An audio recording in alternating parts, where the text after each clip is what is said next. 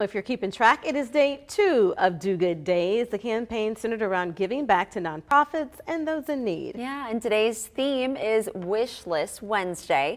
3 News Now reporter Zach Williamson joins us live from Open Door Mission to explain. Good morning, Zach.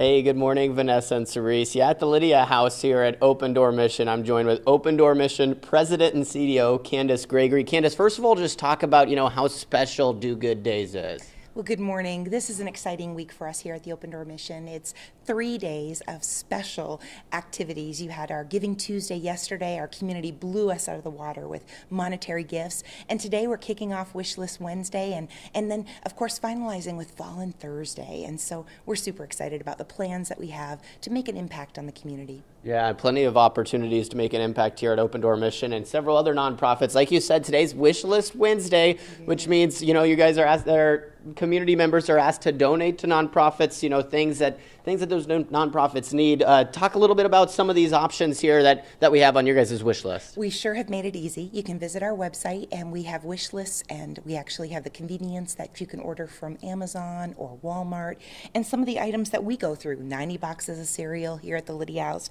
We have formula for our babies and then you just don't know what it's got got you got till it's gone and that's toilet paper and body wash and so when you have 300 women and children here at the Lydia House these are items that we need every every day. Yeah, items that not only make people feel more at home, but that are necessities too for people to live.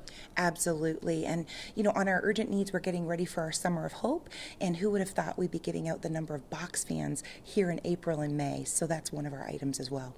So again, uh, wish list Wednesday. You can go to shareomaha.org, find Open Door Mission. You guys have the Amazon list there, correct? Too. We do on the Share Omaha site as well as ours, and we also have uh, hit it on the social media pages. So making it easy today. Perfect. So plenty of options to give back today, uh, to give back tomorrow still as well as tomorrow's Volun Thursday, all about volunteering. We're going to get into those opportunities coming up at 6.30, but until then, uh, reporting live at the Open Door Mission, Zach Williamson, 3 News Now.